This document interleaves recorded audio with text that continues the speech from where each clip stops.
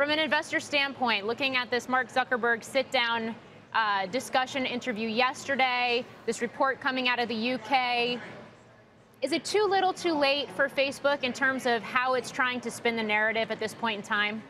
I don't think so. I think we're actually in the early innings of him doing this. I think you're going to see the company doing a lot more of this over the next 12 to 18 months, and for good reason. I think, uh, the, to me, the two key takeaways from yesterday's interview um, with the professor were one, just how complex this issue is, the fact that it's not really just a Facebook issue, it's an industry issue, and lastly, the fact that Ironically, there is a major, major role for regulators to play here. And in fact, Facebook is, in a way, asking for it. We've seen it through GP, GDPR happening in Europe.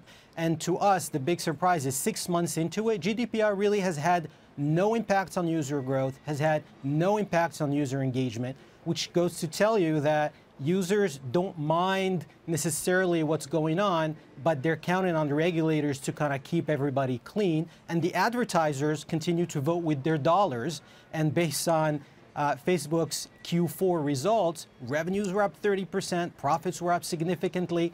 So they continue to actually outperform expectations.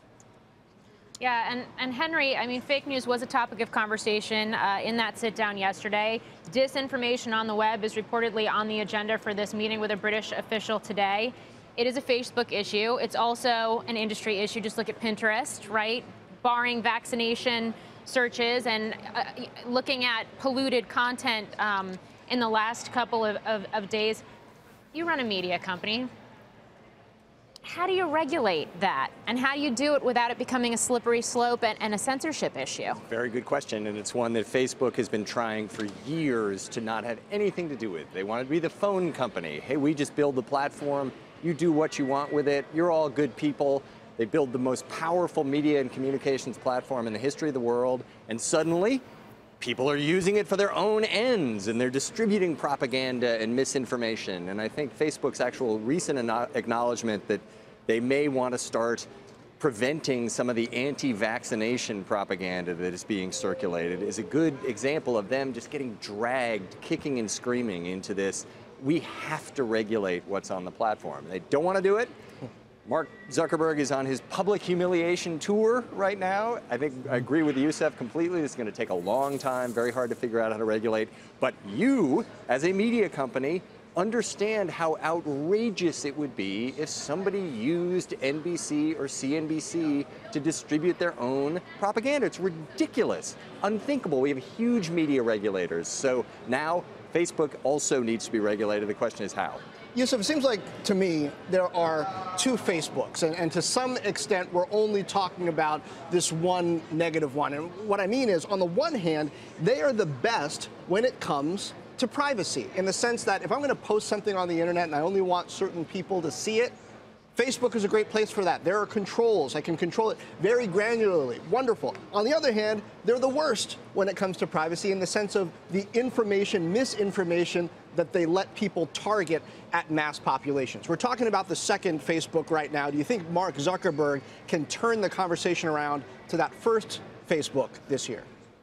I think if you talk about it happening within the next 12 months, I don't think so. I think this is a very long term project that Facebook and Google and Pinterest and you know, Amazon, as they become more of a, a, a, online advertising platform, need to address. What's interesting also out of the interview yesterday was how Facebook was talking about it being a privacy pioneer. And I think to your point, they really have been. The problem is when there is no regulation or when the regulation is relatively loose, uh, in determining what should be done, what shouldn't be done, it, it, it really falls on you to kind of detect or, or, or establish these demarcation points. And so, you know, Facebook is a business. It's there to make money for its shareholders. And so ultimately, you know, they keep testing the limits every time, every once in a while. They step out of bound, they, be, they, they get called, they go on the public humiliation tour that Henry talked about. But again, the regulators need to step in the TV was regulated from the get-go. The radio was regulated from the get-go. I don't see why the internet shouldn't be as well.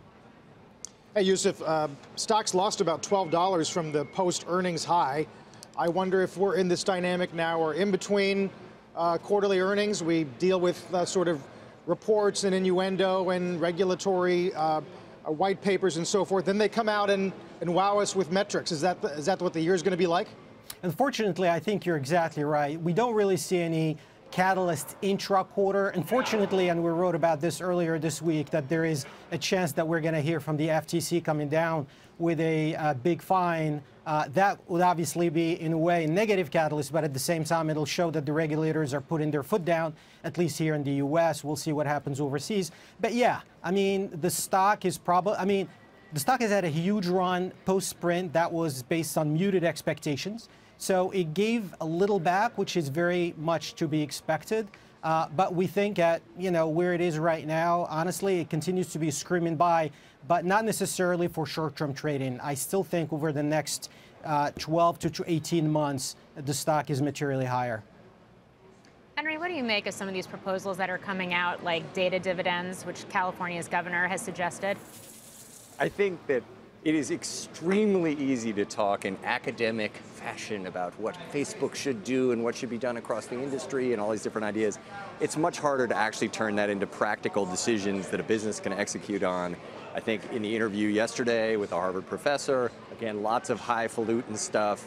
When you really think about, oh, the community policing all of this different stuff, what Mark himself has pointed out is what we have discovered as a society is that people want to believe certain things. So how they're going to police it when it says, ah, this is the conspiracy theory that I believe, I want to share it with my friends, their support of this. So all of this stuff is incredibly complicated.